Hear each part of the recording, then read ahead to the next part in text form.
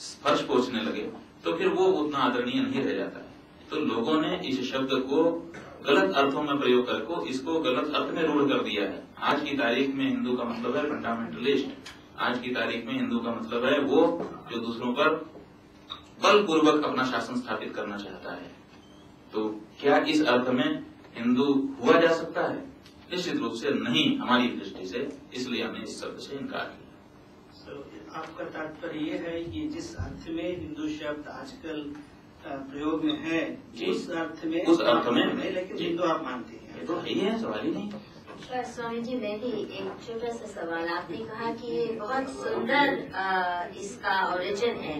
जो सिंधु नदी के उस पार रहने वाले सब लोगों को हिंदू शब्द से मुखारा गया तो ये कोई हमारे इतिहास का खुद का उपजा हुआ शब्द, ऐसा माना जाता है, नहीं तो आप उससे कैसे रिश्ता जोड़ें हमारा ये कहना है कि जब एक व्यक्ति एक ही समय में पिता भी होता है, पुत्र भी होता है, नाना, मामा, काका, चाचा भी होता है तो एक ही समय में हम सनातन भी हैं, हिंदू भी हो सकते हैं, कुछ लोग अगर उसी नाम से हमको बुलाएँ, कोई कहे स्वामी जी तो हमको तो देखना ही पड़ेगा, जी जी, बोलिए। तो कोई कहे महात्मा तो भी बोलना ही पड़ता है। तो कोई कहे हिंदू तो भी बोलना ही पड़ता है। लेकिन उस शब्द को विकृत किया जाता है। एक दूसरी बात यह है कि ये सच है कि ये हिंदू शब्द जो है, वो बहुत प्राचीन नहीं है, अर्वाचीन ही है। और निश्चित रूप से जब बहुत पुराना धर्म है तो उसके जन्म के समय से जो उसका नाम है, वो नाम उसका असली नाम है। बाकी नाम तो उसके गुण धर्म के कारण, समय अनुसार के कारण आ गए। जैसे राजीव गांधी मिस्टर क्लीन हो गए। अब राजीव गांधी और मिस्टर क्लीन में क्या तात्पर्य लेकिन एक समय उन्होंने कुछ लोगों ने कहना शुरू कर दिया, हो गए। अब सचिन तेंदुलकर रन मशीन हो गए। तो रन मशीन जो है, अब उनके गुण के कारण नाम है। लेकिन उनका जो नाम है, वो जो असली नाम है, वो तो मूल नाम है, और उसी नाम से उसकी अपनी पहचान है। बाकी नाम आएँगे भी और जा भी सकता है। अगर वो मिस्टर क्लीन जो है गड़बड़ कर दिए तो मिस्टर क्लीन नहीं रहेगा। तो उसी तरह से ये नाम आया, जा सकता है, क्योंकि अब इसका अर्थ विकृत हो रहा है। जो मूल नाम है उसको हमको रखना चाहिए क्योंकि उसमें विकृति की संभावना नहीं है। जो हिंदू धर्म का स्वरूप है उसमें नायक की कल्पना और उसकी ज़रूरत क्या करती है? जी। जी। और उसका कोई दार्शनिक आधार बनता है उसकी राजनीतिक ज़रूरत हो सकती है लेकिन क्या उसका दार्शनिक आधार है? जी। ऐसा है कि जो भी पानी आता है धरती पर, वो बूंद बूंद करके आता है।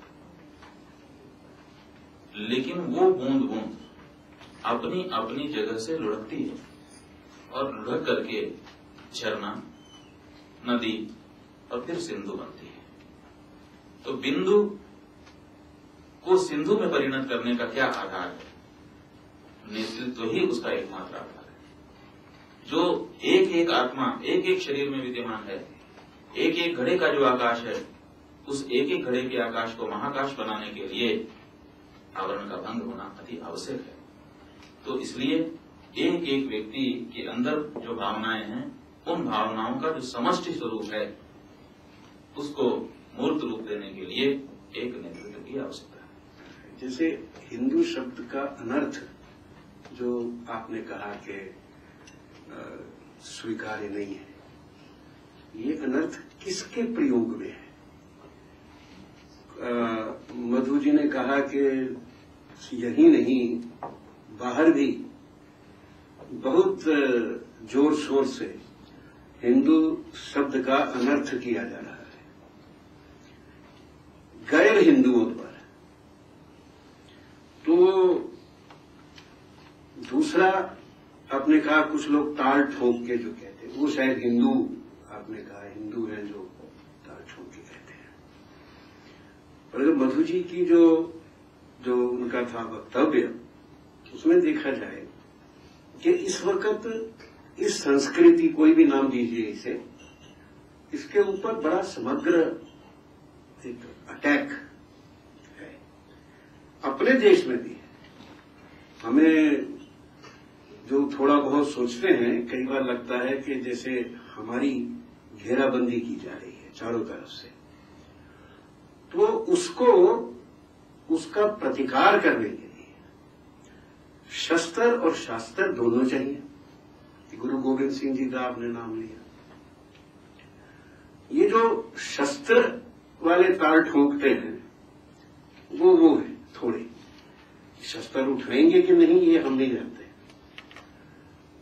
दूसरी बात ये कि जो जो हिंदू शब्द का अनर्थ कर जो हिंदू संस्कृति को नकारते हैं, रबिश करते हैं, कि इसमें विकार ही विकार है, और कुछ नहीं है। ना आकार है, ना सुकार है, सिर्फ़ विकार है।